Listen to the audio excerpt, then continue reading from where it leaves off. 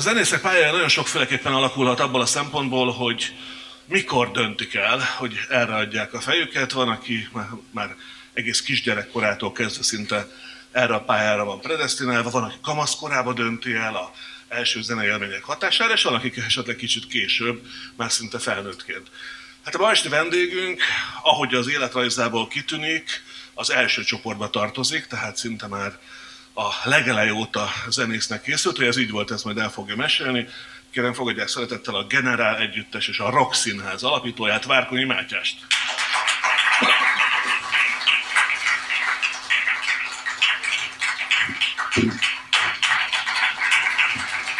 Helyet, állíts be magadnak a mikrofont, hogyha esetleg nem lenne jó a magassága.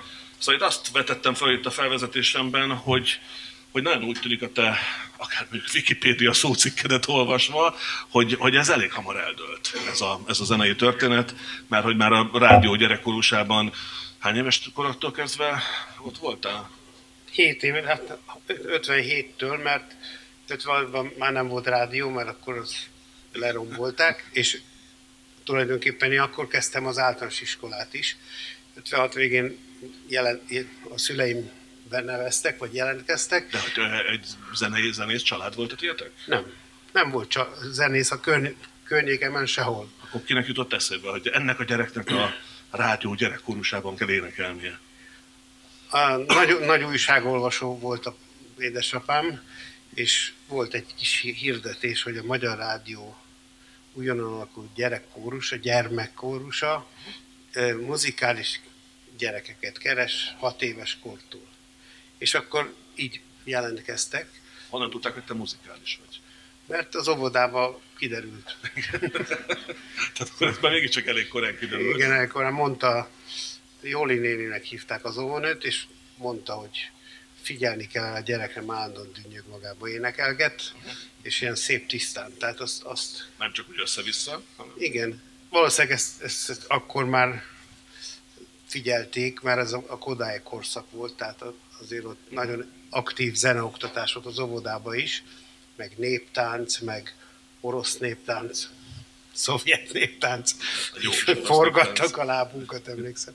De tényleg az volt, hogy, hogy korán kiszúrták a szüleim is, úgyhogy aztán vettek is egy zongorát. A család egyetlen megmaradt értéke volt egy telek, amit szétloptak a házat, és csak egy üres telek volt a surányba, és akkor azt mondták, hogy azt eladják, és azért vettek egy bécsi mechanikás zongorát, aminek a sztoria az, hogy a végén viszont azért adtuk oda, hogy elszállítsák. Tehát nulla. De mégiscsak Így a családi vagyon így aztán értékes. Azt, az egy dolog mondjuk, mert sokan elmondhatják magukról, hogy a rádió gyermekkórusában énekeltek, de azt olvastam, hogy te nem csak hogy énekeltél, hanem 8 évesen már színpadi művet komponáltál. De mások 8 évesen matchboxot gyűjtenek, meg játékkatonákkal játszanak, neked hogy jutott eszedbe ez a leküzdhetetlen vágy, hogy művet komponálj? Volt az első években olyan szerepünk, vagy olyan feladatunk, hogy különböző rádiós zenés játékokban, színházakban felléphetünk, mint gyerekszereplők. Tehát a Nemzeti Színháztól kezdve Besenyei Ferenccel, akkor az Operaházban Székely Mihályjal és ilyen hatalmas nagy nevekkel találkozhattunk, és egyszer meg belénk hívódott, gyönyörködtünk a színház csodájában, meg abban a atmoszférában, ami minden szóval pótolhatatlan volt, egy gyerek számára hihetetlen élmény, és gondoltam, hogy megpróbálom én is, illetve hát volt egy baráti közös, baráti kis csapatom, csapatunk, akikkel De várj, várj, te megnézted ezt, hogy meg, és azt mondtad, hogy na akkor csinálok én is egy ilyet? igen, igen, igen, Aha. igen. Ez, ez a minta. Igen.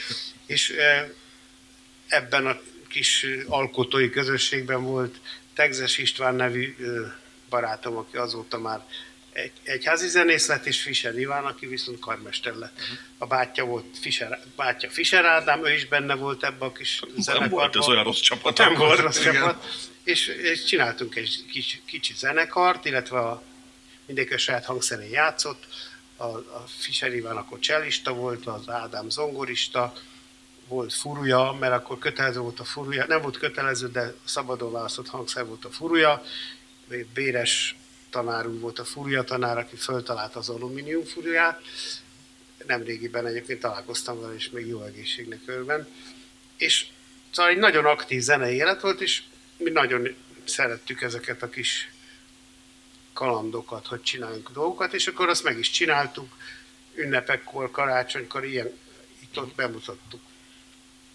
És akkor ebből nőtte ki magát utána Kiskonzi, hogyha jól vettem ki az élettörténetet. Ugye itt ebben a beszélgetés sorozatban nagyon sokszor elhangzott már a ZG-nek a neve, tehát egyrészt a zenésztársaid a generálból, másrészt nem tudom, Szikora Robi vagy mások kapcsán. Most akkor első kézből és mesél el nekünk, hogy a, a ZG az, az, az milyen, ugye a zenei gimnázium, ezt jelentette, és hogy akkor ezt mikor és kikkel alapítottad?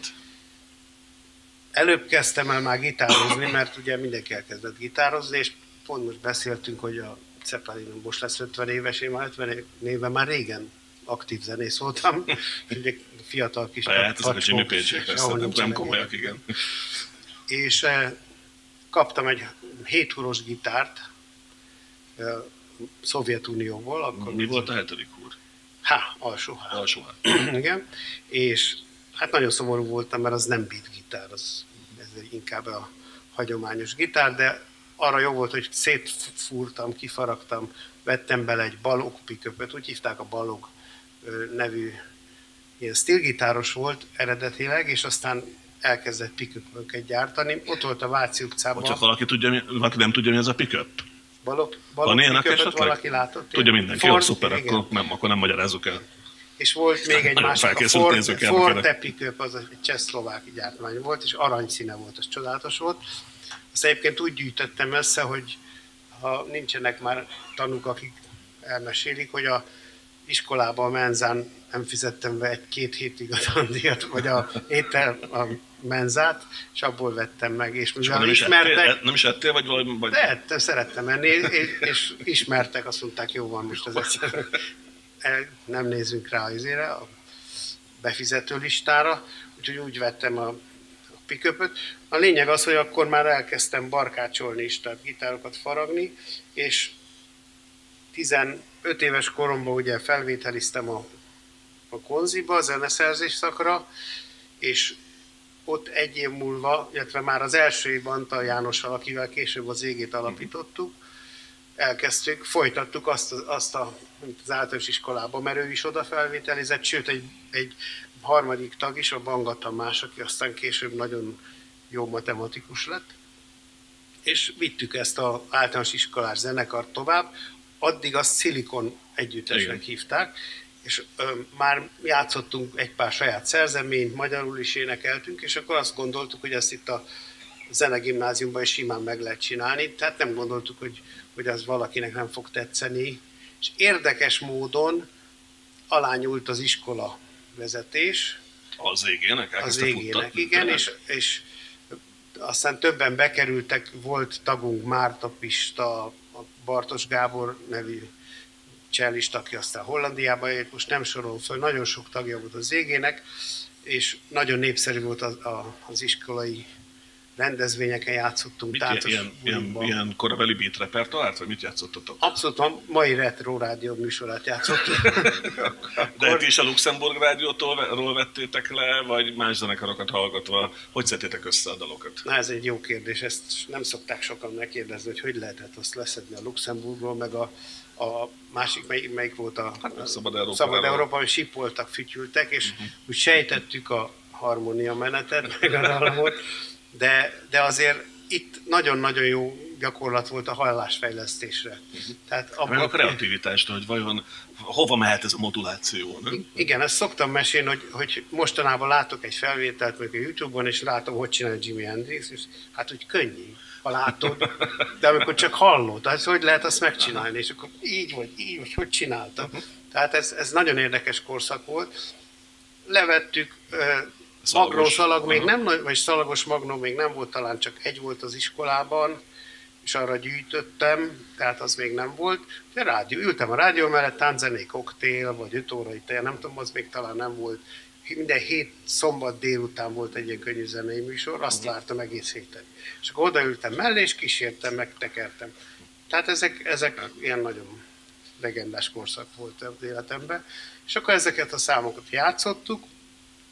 Játszottunk például a, a Mihály Tamás féle, akkor, akkor még hogy is hívták, a Komárral játszottak együtt, fel, fel, fel, melyik zenekar? Szkampoló volt. Szkampoló is volt, de még az annál Aha. egyel előbb, most nem teszem be, és ők is oda jártak, csak nálunk ide, idősebbek voltak, és mi játszunk, mi voltunk az előzenekar, ők a főzenekar, és emlékszem, hogy ilyen áhítattal néztük, hogy milyen gyönyörű aranyos frámusz gitárjuk van, és a Mihály Tominak is, meg a szóló gitárosok is. Mert saját magunk farigcsáltuk ilyen üzét Lokedli szaggatóból a gitár. Szívesen beérünk ugye a, a zenész pályafutásodba, de akkor azt, azt azért még hogy kérdezem meg, hogy, hogy, hogy, hogy ez valóban így volt, hogy az elején feltételeztem, hogy te az első pillanattól kezdve zenésztek készültél, vagy, vagy volt a fejedben más alternatíva az életben, az életre? Hát, titokban mindig zenésznek képzeltem el magam, de egy ideig érdekelt az építészet is, meg sport is. Tehát kosaraztam a Kásiba, annak idején az elég magas szint volt, csak aztán nem nőttem elég magasra, és akkor az, döntenem kellett, hogy vagy le, leülök a zongorához, vagy fölök a kosár palánkra, úgyhogy a zongora mellett igen, meg a gitár. Úgyhogy tényleg ez, ez egy, hogy mondjam, nem is, nem is volt kérdés, hogy hogyha nem ér valami kudarc, tehát nem vesznek föl, vagy ilyesmi, akkor, akkor az biztos volt, hogy ez egyenes pálya lesz.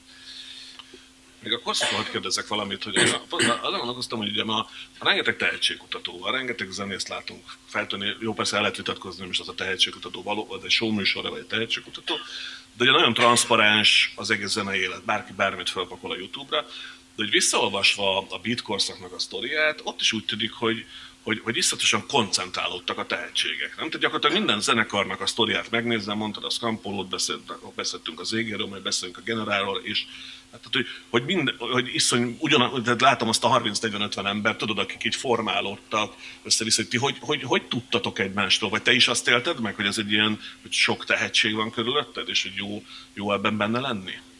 Azt hiszem, hogy kerestük egymást. Tehát abban a korban ez egy nagyon-nagyon felemelő életstílus volt, hogyha valaki zenész. Tehát egyrészt nagyon nagy volt a társadalmi megbecsülése, tehát sokkal népszerűbb volt egy zenész, mint egy orvos, vagy egy, egy mérnök, mert már egy újszerű dolog volt, és ráadásul Magyarországon, meg a kelet-európa országokban még egyfajta ilyen kisebb lázadás is volt. De hát azt a fantasztikus érzést, amikor összejött 8-10 zenész, és volt miről beszélni, a gitárútól kezdve a fellépésekről, a másiknak a cuccáról, az, hogy vettek egy ilyen tweetet, meg olyan üzét erősített, stb. Kinek van zelmerje, tandembördje, vagy más, más góliátja, stb. Tehát ez meg teljesen kitöltött az életünket, és azért jártunk bulikba, hogy megnézzük, hogy az Omegának milyenek a hangfalai, a, mit tudom, a Szörényi Leventének milyen kovboly csizmája van, mert az volt neki, emlékszem, az Uránia, vagy kitette. Megmutatta. és akkor arra gondoltatok, hogy jó lenne egy ilyen, vagy arra gondoltatok, hogy úristen, hogy néz ki? Is is. is, is. ez a eh, kicsit ez a irigykedéssel teli megvetés, igen. igen. Hát igen, ez is benne volt, de igazából itt is voltak azért már különbségek, ízlős különbségek. Voltak a öregek, meg a fiatalok. Tehát amikor a, ez a generáció, aki nálam három-négy évvel idősebb legfőjebb, befutott, akkor ők voltak az öregek. Hát a Bergendire azt mondtuk, hogy ilyen vénember már nem megy fel a színpad. Ugyanez volt a Nagy Feróval, aki szintén egy idősebb ember volt nálunk, és ugyan már. és hát tulajdonképpen az elment a metró az állomás, az erről szól, hogy a metro együttes kiöregedett a szakmából. Van egy ilyen burkolt hátsó gondolat is mögötte, és ha már ezt mondtam, akkor pont évforduló lesz hamarosan, mert megnéztem, kinyomoztam, hogy mikor volt a 68-as ki mit tud, ami az a legendás ki mit tud, amin az égé is volt. És mi 68... az illés, ugye? Nem, azt a Hungária nyerte. Hungária, Hungária nyerte, és 66-ban kezdődött az egész ki, mit tud, az, az volt a Konc, mm. meg ezek, akkor legelső generáció, és 68-ban volt nagyon-nagyon sok tehetség, a Kern Andrástól kezdve, most nem sorolom föl, mert akkor valakit kihagynék, de ott volt például a Novai, a Rangers együttessel, az Égi volt, mi, mi is ott voltunk, de most olvastam, hogy szinte minden ma ismert régi zenekar az ott volt, és a mi fellépésünk, a mi elődöntőnk az 68. május 21-én volt. Tehát uh-huh. pontosan most lesz 50 éve. És akkor már mondom, négy éve zenéltem, tehát elég korán kezdtem. Na most ez egy érdekes sztori volt, mert hogy ez mennyire csinált, vagy mennyire természetes verseny volt a Kimi tud a maihoz képest. Az volt, hogy a Petrovics Emil, a Színetár, akkor a Beck tanár úr, aki a lemezjának volt a művészeti igazgatója, és mi játszottunk egy dalt, aminek az volt a cím, hogy Halló Hulló. És ennek a dalnak a refrénját, hogy sajtot, vagy kiejti a sajtot az ének, mert hívva a holló és énekelni akart, a mesét mindenki ismeri, és kiejtettek. És mondtuk, hogy miért? Hát azért, mert ez a szöveg ez nem, nem egy tánzalba illik, úgy, úgy csengedni ezt a sanzonbizottság, és akkor valamiért lelkismert fuldalásuk lehetett, mert nagyon összevesztek, és akkor valahogy visszakerültünk a középdöntőbe, és azt mondta a Beck tanár hogy csak, és akkor mondtuk, hogy akkor jó, nem játszuk a Halló Holló című számot, akkor van másik. És hogy menj az úton valami sablonos, elég vacak szám volt. És akkor elkezdett velünk veszekedni, hogy de nekünk a halló hollót kell játszani, mert az a jó. De azért ejtettek ki. És akkor nagyon zűrös volt a dolog. Végülis nem, én megmakacsoltam magam, és, és nem játszottuk el, és akkor rögtön ki is rúgtak. Próbálunk veletek kedvesek lenni, és ez a hála. ez a hála. Pedig mi csak meg akartunk fióban.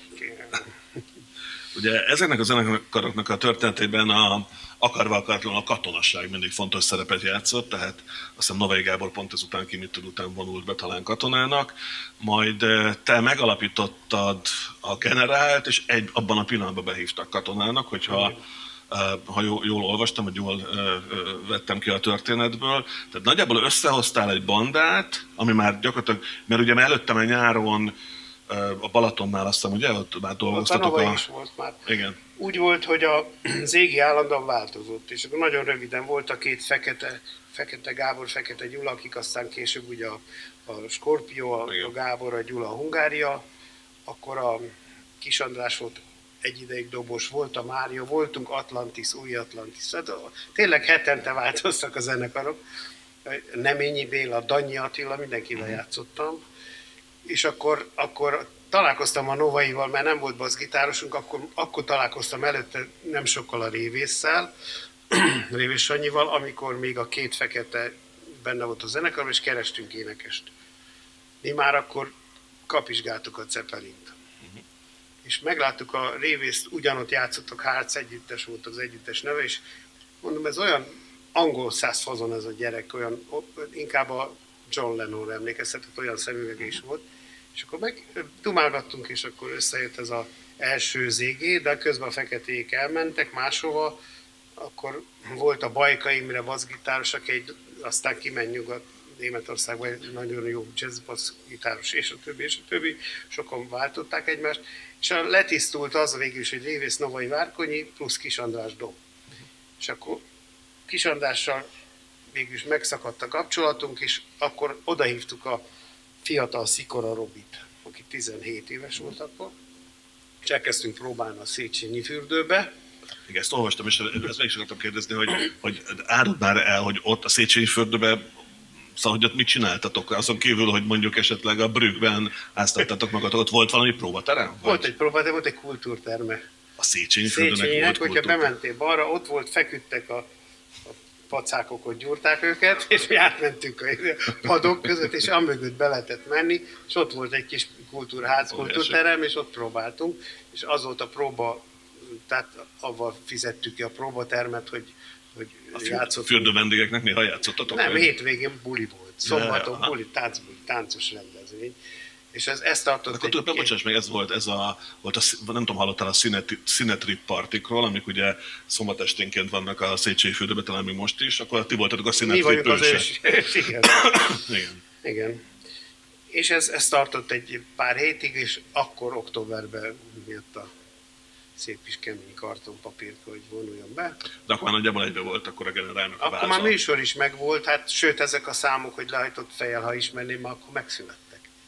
Tehát azok Aha. már az égi, az égébe készültek, és akkor ez nagyon jó alapot adott aztán, aki mit tudra, mert uh-huh. már mikrolid vokál is megalakult, tehát gyakorlatilag az égig kezdte el azt, amit aztán a generál befejezett. Uh-huh. Én addig katonáskodtam, de ott is dolgoztam. És amikor bevonultál, mit mondtál Novainak, hogy, hogy könyörgön várjatok meg, vagy, vagy, vagy, vagy mi volt, vagy volt valami elbocsátó szép üzenet? Hát a Gabival nagyon jó barátok vagyunk mind a mai napig, úgyhogy megbeszéltük, hogy folytatjuk. E, mondtam, hogy hát most, mert akkor a legnagyobb érték a, a, a felszerelés volt, és mondtam, hogy én most ezt a felszerelést becsomagolom újságpapírba, és mikor leszerelek, visszaadom, visszahozom. De hát ez csak vicc volt, meg azt mondta a Novai, hogy ne, nem baj, majd viszünk neked rántott csirkét. Nem. Én is kibírtam, te is ki fogod bírni. Úgyhogy le is jöttek egyébként, meglátogattak. És hozott rántott csirkét? Azt nem. Azt nem? Azt nem. Ez, ez fontos kérdés. Szoktam igen. mondani neki, hogy ez még tartozik. Igen. Na, a lényeg az, hogy, hogy ez egy szép folyamat volt, és, és be is, mondom, a mikrolidok még én neveztem be a kivi tudra, tehát láttuk, hogy itt valami most mocog. Uh-huh. Láttuk, éreztük, hogy ez nem rossz. Mert már a hullámétteremben, amit éppen most adtak el, vagy nem tudom, hogy megvettek, uh-huh. abba játszottunk, és ott botrány is volt, kicsaptak, mert olyan, tehát nagy sikerünk lett, egyszer csak jöttek a tömegek, és az egy ilyen kis csendes izé pörköltevő étterem volt. És akkor kirúgtak, akkor el kellett menni Tapolcára a munkaközvetítőbe, hát mégse csak úgy kirúgni a szocializmusra valakit, és akkor elmentünk Csopak, illetve Badacsony Tomajba játszani, ahol egyébként a Minis játszott, tehát az a nyár az a Balatonról szólt nekünk. Az előbb egy fél mondattal mondtad, vagy folytattad, hogy a, hogy a katonaság alatt is folytattad a, a komponálást, vagy a dalszerzést, azt olvastam, hogy például a fűrész az ott született a, a, a, a Tiszti klubban. Te ilyen csókos katona voltál? Az első pillanattól tudták, hogy te egy, egy képzett zenész vagy, és beraktak egyből muzsikálni? Nem. Négy hónapig rádiótávírász voltam, megtanultam a morzejeleket, és megtanultam körömmel megásni a saját síromat, szó szerint, mert az bakonyba, amit sziklás kő, azt mondták, hogy itt most az a gyakorlat, mindenki megás a saját sírját. Aki rossz, az függőleges Aki jó katona, az csak fekvős. És ez nem vicc volt, hát persze volt egy gyalogásom, de és ez, ettől aztán begyulladt a kezem, és elhatároztam, hogy leszerelek, mert hát ez tényleg. És akkor tiszta, ilyen gennyes izén voltak, kiütések voltak, vagy fertőzés, elmentem a Honvéd kórházba, de hát nem akartak leszerelni, azt mondták, egészséges fiatal ember, menjen vissza. És mondtam az orvosnak, hogy hát doktor, én zongorázom, tönkre megy a kezem, szóval miért nem szólt előbb? Mindegy, visszamentem, de akkor már sikerült elintézni, hogy Székesfehérvárra menjek, a helyőrségi futballzenekarba, és ott volt egy édes sztori, hogy akkor megkérdezte a parancsnok helyettes, hogy tud valami fogos hangszeren? Mondom, tudok. Hát fújja meg. Megfújtam, hiszen a hang jött ki. Hát ez nem az igazi de itt lesz ideje gyakorolni. és meg is tanultál, nem? Meg is tanultam, igen, akkor még fuvolázni is megtanultam, hát tényleg volt időm, meg hangfalakat építettünk a videót hangszóróból, szóval jó volt végül is, csak az idővel kellett mhm. küzdeni, hogy az idő múlás nagyon lassan ment az idő. De hogy akkor ezek szerint a stafétának, az első generállemeznek a néhány dala ott született, a Igen. Magyar Honvédség áldásos közreműködésének köszönhetően ott írtam a szélkakast is, ami a kés, igen, az nem az első lemezem volt, a uh-huh. fűrészt a Huszár Erikával, aki uh-huh. lejárt kétszer vagy háromszor lejött, és akkor ott megkaptuk a színpad, a színháztermet, ott volt egy zongora, és akkor ott dolgoztunk. Úgyhogy ezek ilyen nagyon izgalmas történetek voltak. És akkor följártam a stúdióba, följöttem, tehát amikor a felvételek voltak, vagy rádiófelvétel, vagy a lemezfelvétel, akkor jöttem, játszottam rajta, zongoráztam, vokáloztam, és amikor leszereltem, akkor, akkor visszakerültem. Na itt volt egy érdekes helyzet, mert... Bocs, szabad ne fed, 71-ben a generál indult, aki mit tud, ugye? De akkor abban nem voltál benne? A, én nem, a 72-ben volt, aki mit tud. A 72 én a katonazenekarral én is indultam. De nem jutottam A saját zenekarod riválisa voltál? Igen, igen de nem jutottunk föl. Hát a katonatársaimmal alakítottuk, ott nagyon vegyes voltak.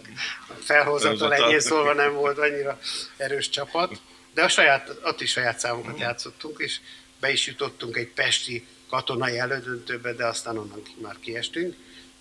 ezután viszont ott nagyon jó sorsunk volt, mert mi mindig mi játszottunk a tisztiklubba, és akkor nem kellett konyha, konyha szolgálatra menni, meg ilyesmi. Úgyhogy ez, ez volt, és akkor 72-ben a és 73-ban a Ki mit tud már megvolt, sőt a, a Tánza Fesztivál, igen, az is akkor volt, a cipőt a, ki, a cipőt a kiukat, azzal is nyert valamit, nyertünk valamit, és akkor 73-ban jöttem, és akkor hogy visszajövök, és akkor ketté szakadt a zenekar, volt egy párt, aki azt mondta, hogy jöjjek, a Novaival az élen, de a Révész is, stb. És volt egy másik csapat, akit most név nem mondok, akik megfúrták. De hát azért fúrták, mert hogy rivális. Mert én voltam előtt a zenekarvezető, Aha. majdnem biztos volt, a visszajövök megint én leszek, úgyhogy ez volt inkább a háttérben.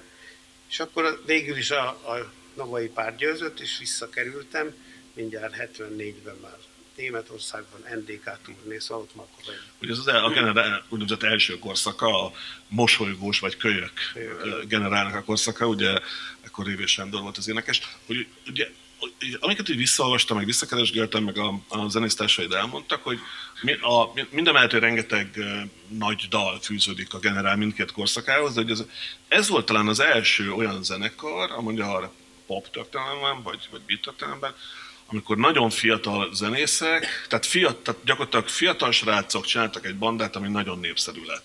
Tehát nem az volt, hogy nem tudom, már 20, év, 20 jó néhány évesek voltak, hogy ti ezt belülről hogy éltétek meg? Vagy több belülről is meg volt ez, hogy akkor hirtelen, hát nem csak hirtelen persze, mert azért már több év volt mögöttetek, hogy, hogy sztárok lettetek? Tehát volt, volt ilyen sztárkultusz? Volt, volt. Egyértelműen volt, sőt még erőteljesebben volt, mert ugye a szex, a drog és a rock and roll az, az a három alapvető tézis, ami mozgatja ezt a műfajt, és hát itt a lány rajongók a révészről nem kell mondani, hogy minden lány rajongott érte, de a James, tehát egy szép arcú zenekar Igen. volt, lányok is voltak benne a fiúknak, tehát minden teljes volt a kínálat, de alapjában az volt a, az érdekes, hogy pillanatok alatt keresztbe kasul bejártuk az országot, tehát akkor az országos rendezvényiroda tényleg most nem emlékszem, hogy 150 vagy 200 forintos gázsival végig mentünk az országon háromszor, négyszer, ötször,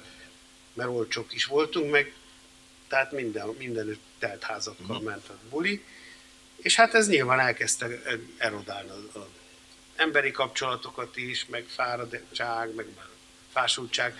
Szóval én sokat gondolkozom azon, hogy miért rosszalnak fel a zenekarok. Ennek van valami biológiai háttere, hogy bizonyos idő után már annyira, hogy mondjam, sok a surlódás, meg a személyi konfliktus. Hát sokat vagytok együtt, nem? Tehát Rengeteg a bezártság. Majd többet, mint a családoddal. Sokkal többet. Ezt, mm. azt csináltunk is ilyen számítást, hogy kb. négyszer voltunk együtt, de ez később is így volt. Úgyhogy sokszor ment így, azért mennek zenész házasságok is tönkre, mert gyakorlatilag nincs otthon a zenész.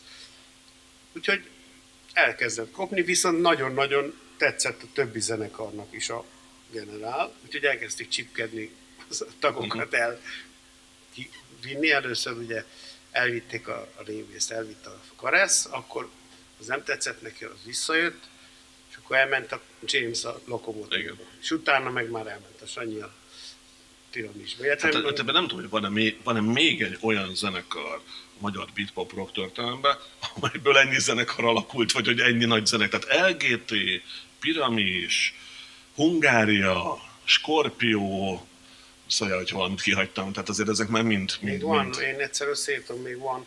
De igazából az is az érdekes, hogy ha te mondtad az előbb, hogy milyen kevés emberből áll Igen. ez a belső mag, vagy nevezzük.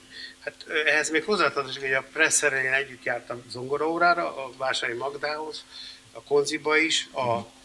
ugye a, most a lokomotív az kettő per egy generál, mert hogy Karácsony Zsolti, Zsolti, és igen. egyedül a Bresser Pici, igen.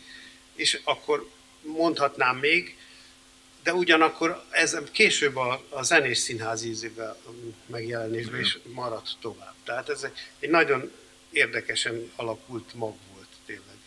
Az előbb mondtad, hogy nagyon sokat koncerteztetek itthon, de rengeteget koncerteztetek külföldön, erről is már tettél említést. Tehát NDK, NDK, Lengyelország, Szovjetunió és a holland történet, erről már beszéltünk Novai Gáborral, de hogy a generál miért működött szerinted ennyire jól külföldön? Tehát, hogy visszaolvastam, 8-10 ezeres stadionokban játszottatok, Hollandiában listavezetők voltatok, lemezeitek jelentek meg Lengyelországban, NDK-ban, Hollandiában, tehát, hogy hogy jól, jól tehát ezt a, a, ezt a stílust nagyon jobban vették, vagy jól vették külföldön?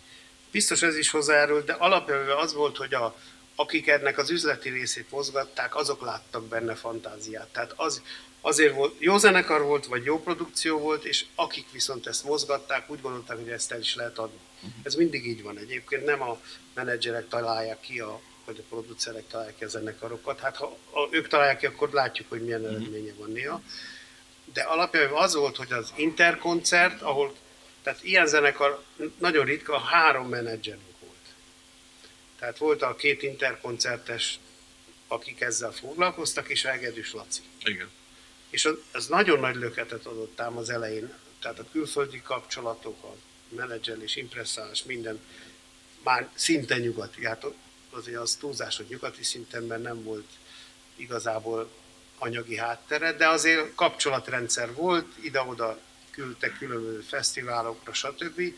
És, és amikor a Heged is már kezdte ezt az egész szakmát kitanulni, akkor ő a generál főmenedzser lett, és szerintem az nagyon sokban hozzájárult, és ezt mindig meg, el is szoktam mondani, hogy sokat köszönhetünk Hegedűs Lászlónak, mert az igazi professzionista impresszálást ő kezdte el Magyarországon.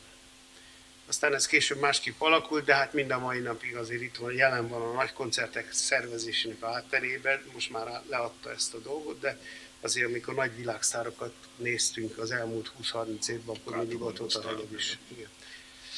Úgyhogy ez, ez, ez hozzájárult, és, és hát a, a révész elég jól tudott, tud angolul, mert ő volt egy évig kin Angliában, pont a legfogékonyabb korában, és, és az is ritkaság volt, hogy valaki jól kiejtéssel énekel angolul. Uh-huh és, és hát ez a fajta vokál hangzás, ez nagyon tetszett mindenkinek.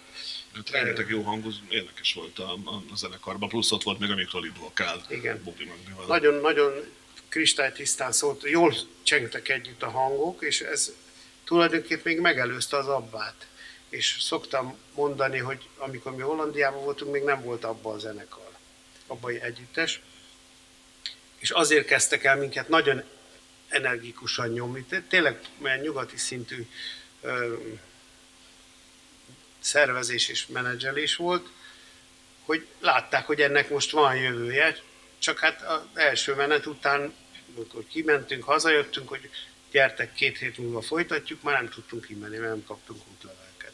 Ja, már akkor csak beütötték ezt a hány napos ablak volt? 30? Vagy? 30-as is volt, Aha. meg, és az, az az igazság, hogy meg volt határozva, mennyi időnként lehet, meg külön engedélyeztetni kellett, és hát azért tudjuk, hogy abban az időben még ezek a intézmények még hihetetlen bürokratikusak, és hogy mondjam, megfigyelés alatt működtek, tehát nekünk mindig kellett bemenni, külön kérvényezni, stb. Hát így nem lehet világhírű hogyha otthon kell üldögélnie. Úgyhogy ez aztán el is sorvat ez a lehetőség. Ugye akkoriban mondjuk azt, hogy négy, vagy mondjuk azt, hogy négy, négy fő pólusú volt a könnyű zenei élet. Javítsuk, hogyha rosszul mondom, volt ugye a rádió, egy nagyon fontos tényező, volt a lemezgyár, volt az ORI, az Országos Rendezőiroda, amelyik a belföldi koncerteket szervezte, és volt az Interkoncert, amit te mondtál, meg külföldi koncerteket, ide vetjük mondjuk még a Sanzon Bizottságot is, de mondjuk nézzük csak ezt a négyest. A generál milyen viszonyban volt ezzel a négy pólussal? Tehát hol helyezkedtetek el? Azt hiszem jó szó, hogy azt mondom, ambivalens mert ha külön-külön felsorolom, az Olival jó volt a viszony, mert az előbb említett okokból, hogy a, egyszer jó üzlet volt a generált mhm. vinni. A lemezgyárral nem volt jó a viszonyunk, mert de már Neoton előtt sem? Vagy, vagy Neoton előtt sem volt, bár akkor még, akkor még volt egy olyan sanda szándék, hogy a, a, a, Neot, a Neoton előtt más, máshogy alakul a, a nő, női történet az lemezgyárba. Ezt eh, én nem szoktam mesélni, mert nem voltam ott, de a hölgy tagok szokták mesélni. Hogy... volt Béter. igen, Ott igen, volt. Vagy a főnöknek volt Péterben, igen. Csöcce is. és eh, ezért aztán nem mindig szerettek, meg, meg volt egy ilyen egy konkurencia teremtő szándék is, meg az a másik nagy a lemezel, még a másik probléma, hogy a hegedűs ugye nekünk lemezeket is intézett külföldön, és azt nagyon rossz szemmel nézte az erdős. Azt mondta, hogy úgy nem lehet csak így, be ke, alá kell írni valami, nem tudom, együttműködési nyilatkozatot a lemezgyár, és akkor már ők adják majd ki a lemezeket, és akkor majd úgy. De hát közben ezt tudni kell, hogy Le- Lengyelországban 700 ezer volt egy, egy lemezeladás, itt meg 70 ezer. Hát persze, hogy nyilván rácsaptak volna, de mondtuk, hogy mi nem írjuk alá, akkor, akkor kicsit fekete segű lett a zenekar. A rádióval szintén nem volt túl jó a viszony, néha, néha ki- kizavartak az irodából, néha be, beengedtek, néha volt rádiófelvétel, főleg az elején, később nem, és ott az interkoncert az a hegedűs évén meg, meg jó volt, de onnan diszidált a másik két menedzser, úgyhogy onnan kezdve volt. Akkor az sem volt túl. Igen. Igen, az volt, érdekes volt a pálya. De azért ott kiengedtek, azzal nem volt. Ha kiengedtek úgy, hogy vissza kellett jönni, vagy úgy, hogy nem engedték ki a Tátrait meg a Jánoskát. Szóval voltak ilyen, ilyen kis történetek. Hát ez, ezt sokan annyian elmesélték már, és, és, és minden történet igaz, bár mostában sokat röhögök, hogy az idő mennyire színezi az emlékezetet. Hát ez, ez ilyen, igen. Igen, hogy mi, kik mire emlékeznek, de hát ez, ez természetes. Alapján véve az mozgatott minket, hogy tényleg világsztárok akartunk lenni. Ez nem csak az erdősnek volt a hangyája, mindenkinek ez volt a hangyája. Nem tudom miért.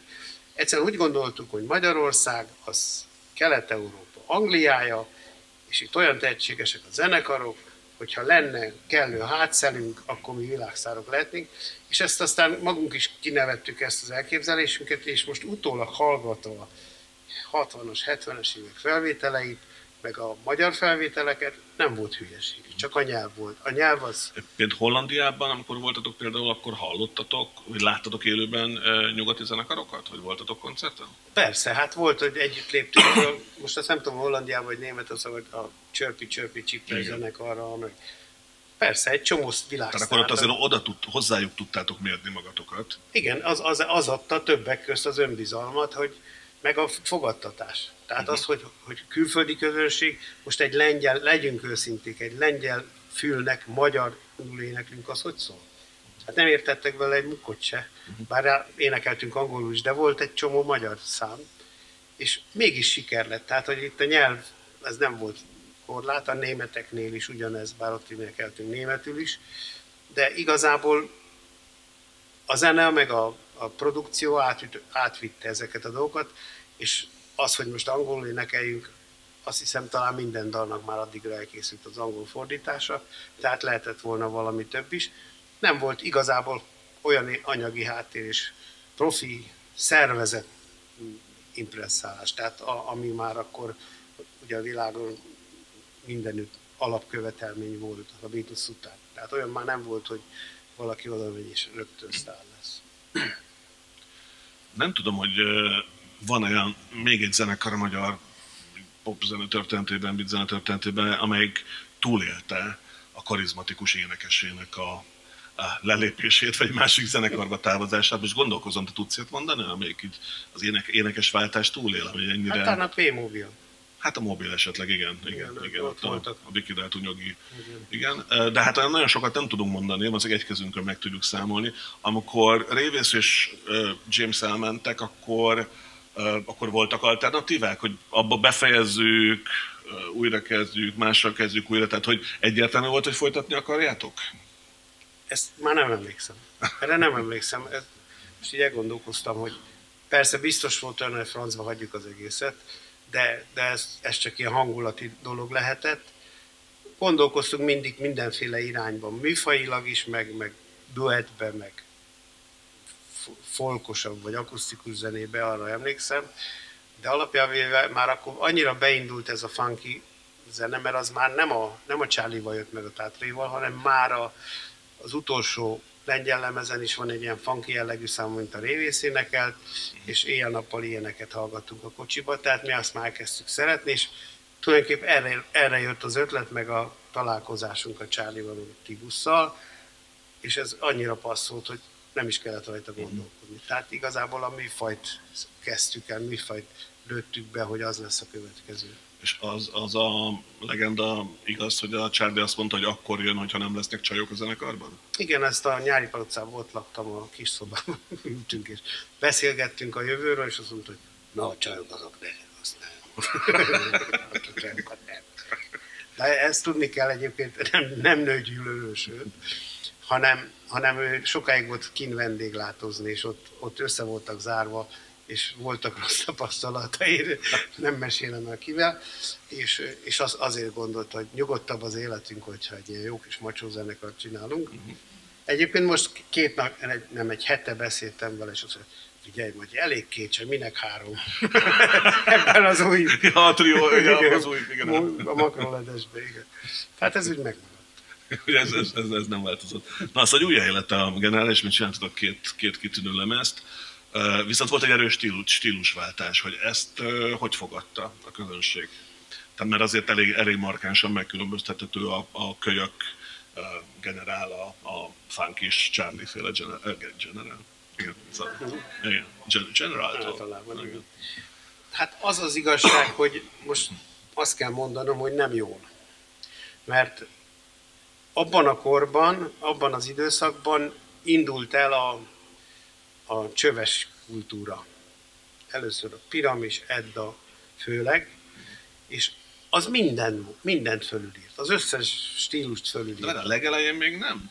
A piramis már volt, igen, bocsánat. Az Edda 70... Mi léptünk fel az Eddával, igen. igen. Tehát az, az 70-es évek közepe volt valahogy.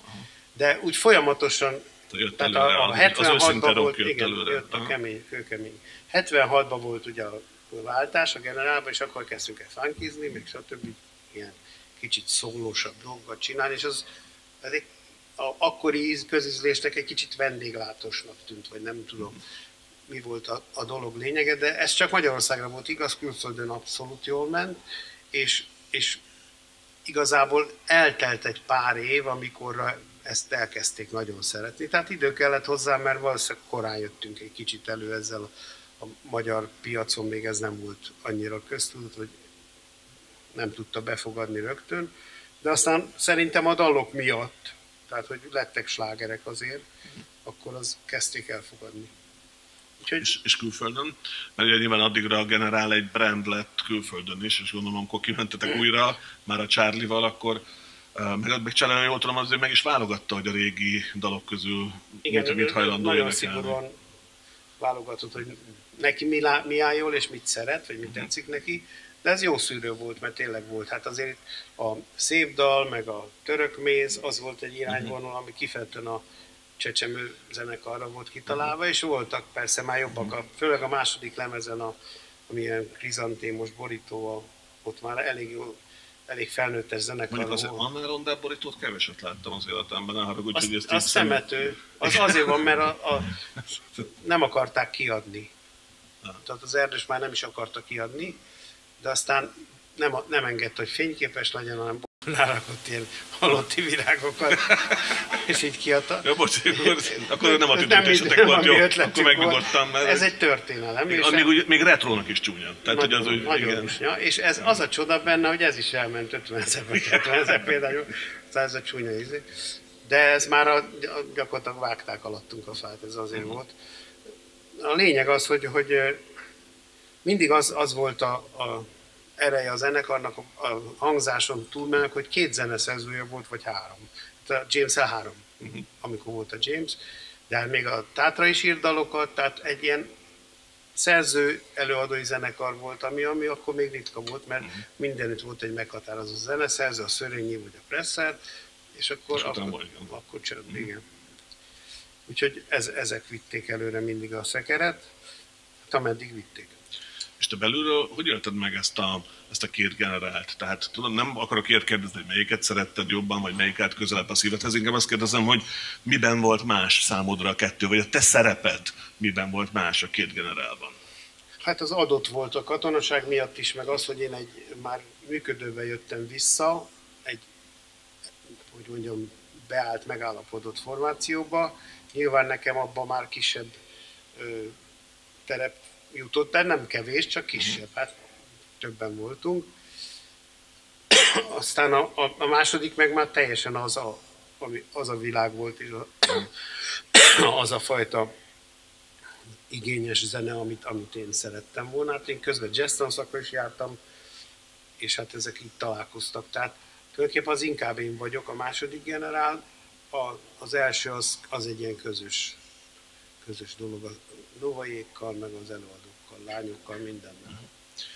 És végül is a, a, ennek az őszinte kemény rocknak az előretörése volt az, ami miatt be, becsuktátok a gárát? Tehát, hogy van esetleg valami meghatározó élményed, amikor úgy, úgy emlékszel arra, hogy na, akkor itt döntöttük el, hogy ennyi vége? Azt szoktam mondani, hogy nem tudok hogy megmagyarázni, mondjam azt, hogy pénz. és ez az. Tehát ott egyszerűen az volt, hogy nem tudtunk kijönni, nem tudtunk megélni. Mert annyira beindult a verseny meg a hajsza, tehát akkor vált profivá a szakma. Akkor mindenki nyomta bele ezerrel a milliókat. Hát itt van a Laci, a Nemes Laci itt valahol, most nem tudom, hol van. De szoktunk erről beszélni, mert ők itt a Szent István par sarkán, sarkán fúrták a falat, a hangfalat, és akkor mi jöttünk, megnéztük, hogy hova rakják a hangszórót. Tehát erről szólt minden, hogy fegyverkezni, fegyverbe, fegyverbe. és, és minden pénzt elvitt, pedig jól kerestünk, nem, nem abban a korszakban jobban kerestünk, mint az átlag, viszont nyugati árak voltak, és mondjuk egy ilyen végfog belekerült 100 200 ezer forintba, addig mi egy koncerten kaptunk hetet vagy nyolc. Tehát ezt lehetett vetni. Teljesen fordítottak voltak az arányok, és mind a mai napig megvan egy csomó cuccom, ami ma meg már nullát ér. De például ezek a hangfalak, ezek generál hangfalak, hogyha kinéznek jobbra, Igen. kinéztek, ezeket mit csináltuk?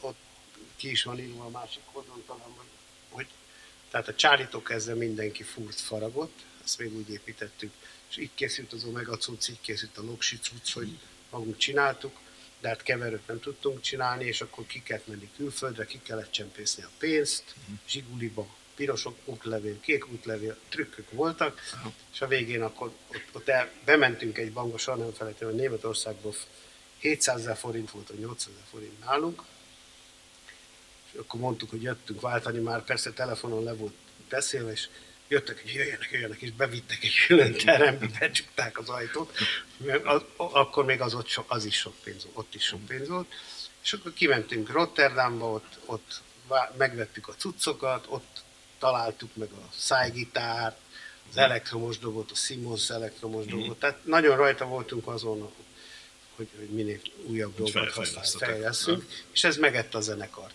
és akkor azt hiszem Gyulán vagy Békés Csabán kiraktuk a színpadra a cuccokat, a zsinórokat, és mindenki fogott egy kupacot, és hazament. Ez volt a felosztás. Ez volt az, osztoz, igen, az örökség szétosztása. De hivatalosan, ha jól tudom, a generálnak soha nem volt búcsú koncertje, ezt, ezt jól tudom? Nem volt. És ennyire, ennyire okosak voltatok, hogy tudtátok, hogy ez hülyeség, vagy mert hogy aztán mennyire ciki lesz újra összeállni, mint rengeteg más zenekar, ugye ezt megtette, hogy ez ezt én soha nem értettem. Én ezt soha nem. Melyik részét? Hát soha nem mondasz, hogy soha. Aha. Hát ez, ez abszolút hülyeség. Szerintem ez egy rosszul ér, értelmezett PR fogás volt. Uh-huh. Hogy a, most gyertek, most soha többé nem láttok, és mi meg csináltunk ilyen összeborulós koncerteket fönn a Várba, később aztán a BS-be.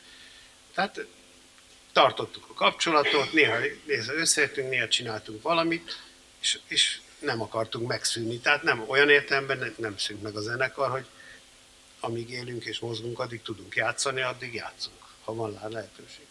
Mint hogy az elmúlt néhány évben többször is játszottatok, sőt már a, a gyerekeitek is játszanak a zenekarban. Ez, ilyen, na, ez is, mint a gitárzsinórok öröklődni fog a, a, a, a, a, a generálnél. Milyen, milyen volt, milyen együtt játszani a, a lányoddal, de a Novainak ugye a fia is Nagyon jó. Játszott. Tényleg jó. Egyrészt azért, mert tényleg kölcsönösen becsüljük egymást, mert hogy amit egy fiatal tud, azt egy idősebb nem tudja, de az a tapasztalat, amit az idősebb tud, az hat a fiatalra, uh-huh. és, és hihetetlen energiák tudnak elszabadulni egy ilyen koncerten, és most nem, nem azt mondom, hogy én pontosan megérzem, de azért amikor külön játszik az mörg zenekar, az egy más stílus, az egy más, uh-huh. Amikor együtt vagyunk, és a Charlie elkezd pörögni, meg úgy mindenki be van durranva, akkor mennek, jönnek az energiák, és akkor, akkor négyszeres, tehát hatványozódik a, a dolog, ami, ami a színpadon történik. Ilyen szempontból ez nagyon egy jó dolog. Tehát ugyanakkor természetes, hogy a fiatal zenekarnak saját életútja van és pályája van, tehát ezt mi úgy gondoljuk, hogy ezt csináljuk is, ha van rá lehetőség, de nem erőltetjük. A gyerekeit tényleg Matyinak hívnak téged? De hogy te vagy különben az édesapjuk, nem? Igen, Vagy, hogy... tudom. és ennek, ennek mi az oka? Vagy hogy te nem akartad, hogy idősebbnek tűnjél, és azért már gyerekkorukban elmondtad, hogy nem apa vagyok, hanem Matyi? Nem. Úgy volt, hogy mi a feleségemmel Kata és Matyi vagyunk egymásnak. Tehát nincs papa, mama, meg izé. Uh-huh. És akkor így szólítottuk egymást, a gyerekek meg ezt levették, és nem is egyszerűen eszünkbe nem jutott szólni, hogy te nem a Matyi vagyok, hanem az édesapád. Úgyhogy ez ilyen természetes. Ma, ma meg már tök természetes, nem is veszem észre, nem.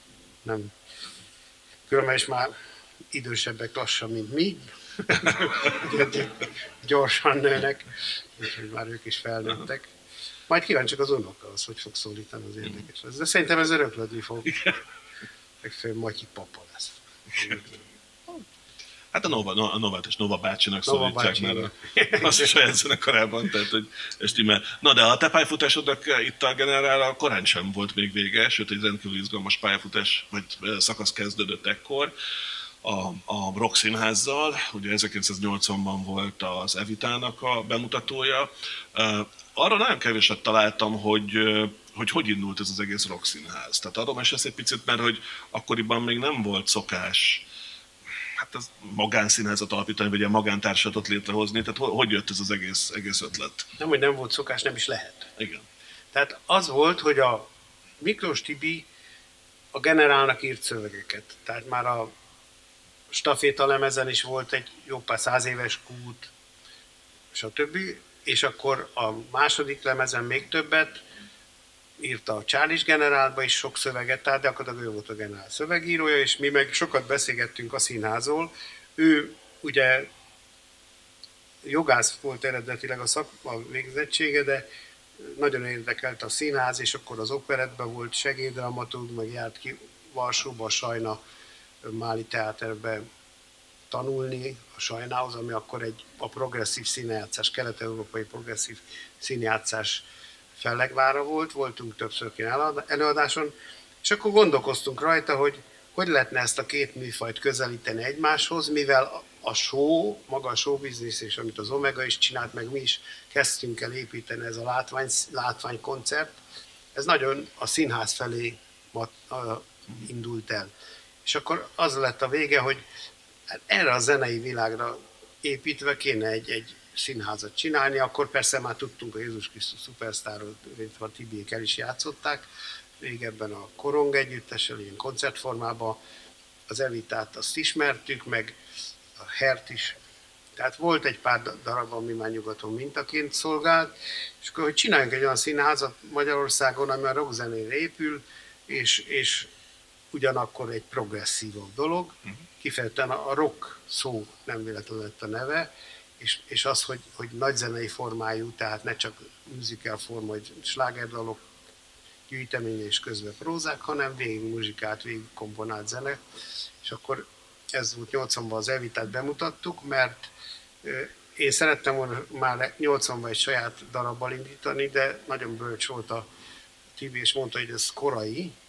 Kezdjünk egy Kezdjünk egy igen. igen, ahol Csegevara van, hát Csegevara ez egy politikus, illetve egy politikai botrányhős, nagyon odafigyelnek, és ez így is lett. És akkor eljátszottuk az Evitát 80-ba, az tényleg egy ilyen hatalmas nagy durranás volt, hogy... Várj, várj, hogy szedted össze, hogy szedtétek össze a társulatot? Jártunk mindenfele. Hát mondjuk én a rock szakmát ismertem tövőről hegyére, tehát on, onnan tudtam, hogy kik azok, akik egyáltalán erre nyitottak. A Tibi is ismert jó pár ilyen zenészt, akinek voltak ilyen ambíciói, és jártunk be a színművészeti főiskolára, mm. megnéztük, hogy kik énekelnek jól, a Szolnoki Tibit így fegyeztük föl. Kovács Kriszta velem járt gyerekkórusba, onnan ismertem, ismertük. Tehát így összeszedegettük. Hát, és a kulkától kezdve nagyon sokan igen, Aztán a kulka, igen, tulajdonképpen a, az én generációban mindenki így úgy amúgy megfordult a, a Rokszínházba, Kaszás Attila, hát ők már fiatalabbak. sokan voltak. Sokan. És összeálltunk egy nyára, és azt mondtuk, hogy ezt kipróbáljuk, aztán nem megy, nem folytatjuk. Tehát akkor ez egy nyári színház volt? Nyári színház Nyári produkció volt, Aha. igen, a Margit szigeti Vörös Marti Kert moziba uh-huh.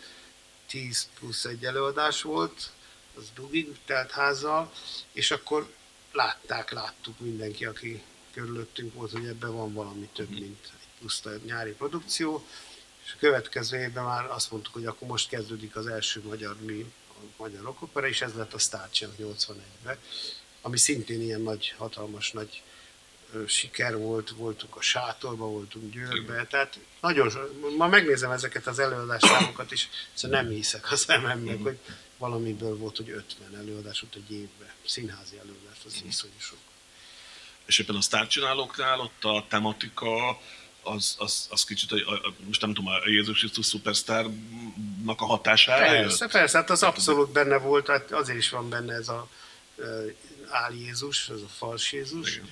mert az, a, sőt zeneileg is idéztem belőle, hogy véletlenül se gondol valaki azt, hogy ez véletlen, tehát a Superstar főtévet beraktam, de alapjában a Nero volt az érdekes, csak hát ugye a Nero körül alakult ki a kereszténység Rómába, és hát üldözték is a keresztényeket, tehát ez így nagyon kézre állt akkor, de igazából ami a, a, a Nero körüli hatalomcsinálás mechanizmusa, az volt az izgalmas, mert akkor még úgy nem tudtuk, hogy ez, ez is egy szakma. Tehát maga a hatalmi manipuláció, a sztárcsinálás is szakma, és ez így, így alakult ki, meg én mindig mondtam, hogy ha már látvány, akkor legyen benne tűz, akkor gyűjtsük fel romát. Tehát ezek Igen. így mind összejöttek. És aztán végül is ez volt az első olyan opera, rock opera, ami tényleg rockzenére épült, tehát a kemény része is benne volt. Szerintem ez is hozzájárult, hogy ez ilyen jól sült el. Aztán persze nagyon sok minden történt, hát is a Roxinház az 21 évig uh-huh. létezett különböző formákban, de az első 5-6 év az egészen frenetikusan jól működött. És a legelején a, a, a sokáig tartott amíg ki tudtátok, nem tudom, kilincselni az engedélyeket? Vagy egyáltalán hogy, hogy fogadta a kultúrhatalom azt, hogy akkor itt most lesz egy ilyen rock zenei színház? Hát ilyen beadványokat kellett készíteni, mindenféle stencilezett mindenfélekre. Van egy csomó ilyen régi dolog. A lényeg az, hogy, hogy ebben benne volt a kultúrpolitika, tehát soha nem is tagadtam, hogy a, abban az időben kereste a regnáló hatalom azokat a pontokat, ahol a fiatalokkal kapcsolatba tud maradni, hatni tud rájuk.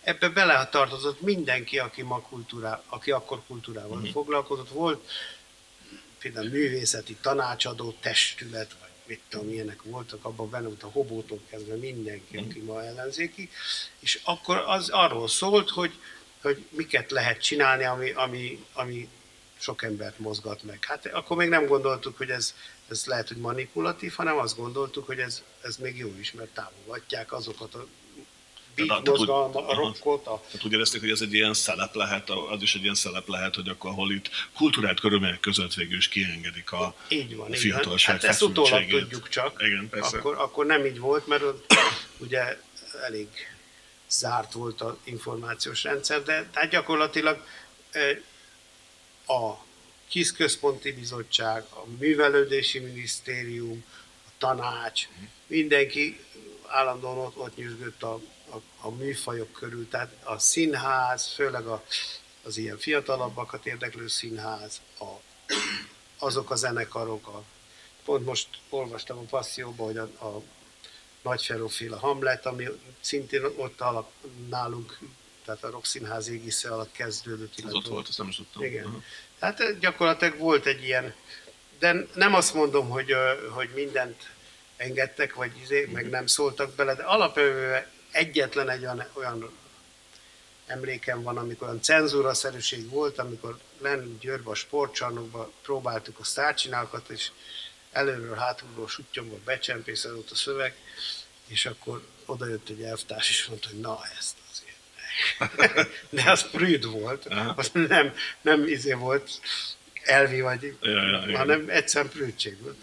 És egyébként meg hát voltak, persze nyilván voltak ilyen feljegyzések, de én például érdekes módon nem találtam, nem is kerestem igazából, de azért úgy szoktam utána olvasgatni, hogy, hogy jelentettek, és hát biztos jelentettek, kizárt, hogy nem, de, de igazából nem nagyon van nyoma. Most ez két le- oka lehet, hogy valaki kivette, és nem lehet találni, vagy azért, mert nincs. Nem tartották vagy nem, nem, nem, tudom, nem ez féltek tőle. máig.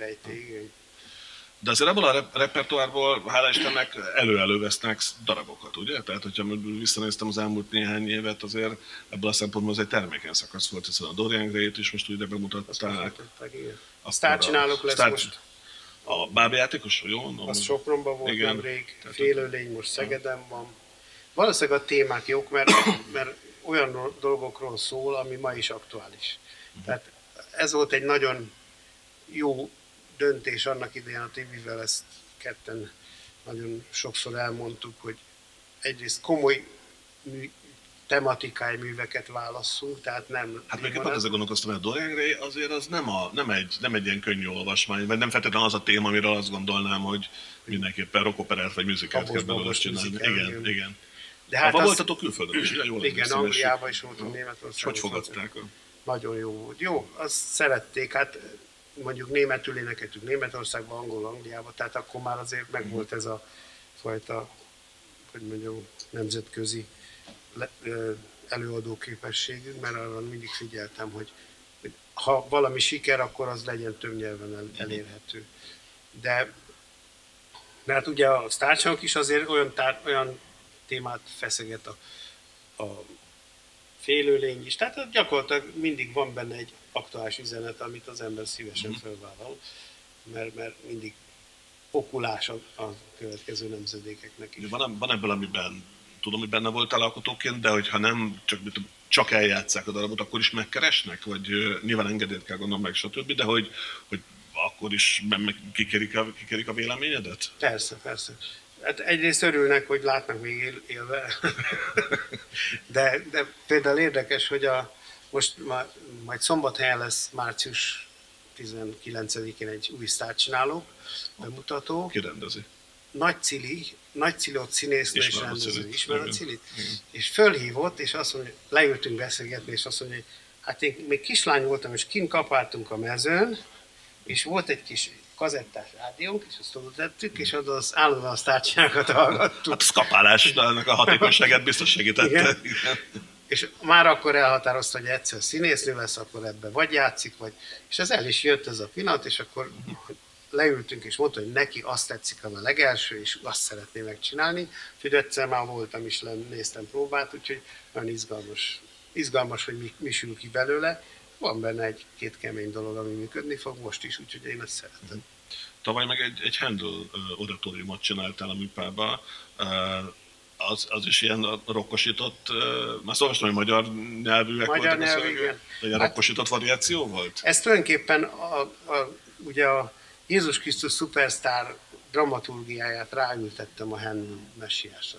Mert hát ugyanaz a bibliai alapanyag, sőt, hát még, még Ószövetség, Új Szövetség, és amikor az angol szövegből visszafordítottam, és elolvastam az eredetit, akkor rájöttem, hogy ezt tulajdonképpen ugyanúgy megcsinálhatom, mint Jézus Krisztus szupersztár.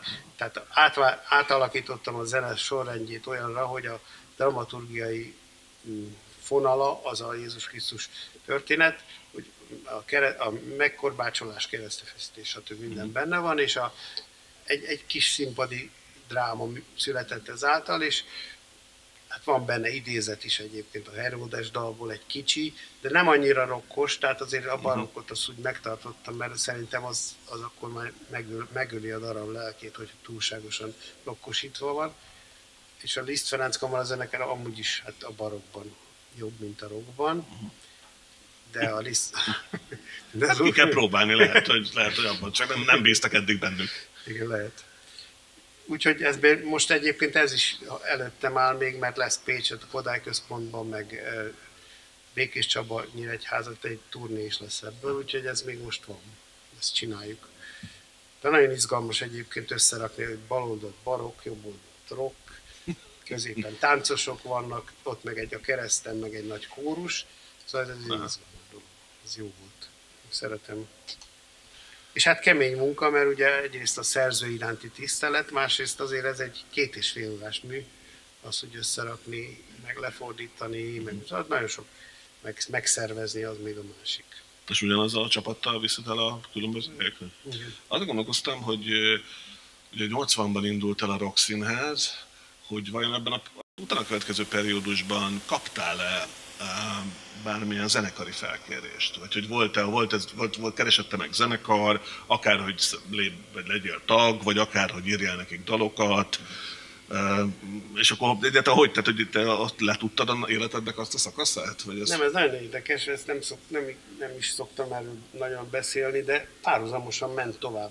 Tehát nem, igazából még nem engedtem el a rockzenész mhm. múltamat, mert gondoltam, hogy lehet, hogy ez, ez nem jön be, vagy tud párhuzamosan is működni, és akkor volt az elején egy, egy zenekar, még a, úgy, hogy már játszottak a színház zenekarban, a Pepo, a Temesvári baszgitások, játszott a Beatrice és a többi, akkor a Marsalkozóli, Csurgai Attila, ők, ők is voltak a zenekarban, és akkor a Dorozsmai Peti. Tehát csak összejöttünk mindig, és csináltunk egy-két dalt, de aztán az nem ment tovább, mert mindig a sok elfoglaltság miatt nem jutott rá idő, de utána többször is csináltunk ilyen úgynevezett árok jammet, az az árok, a zenekar, az uh-huh. árokzenészek, és akkor zenégettünk, de úgy nagyban már nem tudtam visszakerülni, nem volt rá módom, tehát túl sok energiát vitt volna el. Aztán most a generálon megint. De úgy alapján nem adtam föl soha. És a, a, ugye neked azért nagyon fontos, említetted is néhány tanárod, de nagyon fontos mestereid voltak. Te már bekerültél ebbe a, ebbe a mester pozícióba? Tehát van, van, van úgy, amikor már úgy kerestek meg, hogy akkor nem tudom, tanácsot kérnek tőled, szakmai véleményt, hogy te mennyire vagy mester alkat? Hát én, én nagyon szívesen segítek bárkinek, aki kérdez, mert azért tapasztalatot össze sikerült kaparnom ennyi idő alatt. Szoktam például a Szemenyei Jani, aki sok színházi zenét is így sokszor fölhív, hogy akkor most egy cirkuszi zenébe hogy csinálja, stb. Ezekbe igen, de nem tanítottam soha, tehát ezért ezek inkább tanácsok, meg, meg ugye az, az, az abban én különbözöm a saját korosztályomtól, hogy nagyon-nagyon technokrata beállítottságú vagyok. Tehát abszolút a számítógépek 86 óta csinálom mhm. a kottaírást, meg mindent.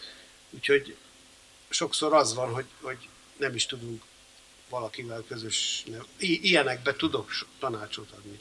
Tehát, hogy, hogy milyen programokkal, hogy kell használni uh-huh. ezeket az új eszközöket. Tehát ebbe lehet, hogy teljesen, teljesen up to date vagy? Igen. Teljesen. Uh-huh. Tehát úgyhogy még frissítem is az új dolgokat. De mondom, ebbe tudok segíteni, csak hát én meg azt, azt tűztem ki célul, hogy ezeket a gépeket arra használjam, hogy emberi zenét írjak, és hát most ez nem megy. Tehát mostanában nagyon panelokból mennek a zenék, azt nem szeretem. Tehát amikor megveszi a harmóniakört, berakja a nótába, és uh-huh. utána feljelentem másikot, hogy ez lopta tőle, ugyanott vette. 6 Igen. dollárért. Igen. Bocsánat, miért lopta? Szóval ez, ez, ez a része nekem nagyon megy, és ebbe tudok segíteni bárkinek, de, de hát erre Magyarországon nincs nagyon iskola, úgyhogy igazából nincs is időm. Tehát azért a zeneszerzés az elég időigényes foglalkozás, pláne a nagy zenekari hangszerelés, mert ott évekbe telik, amíg az ember összerakja a sok pöttyöt. Na jó, én köszönöm szépen a beszélgetést, és köszönöm szépen, hogy itt voltál, Matyi. Köszönöm.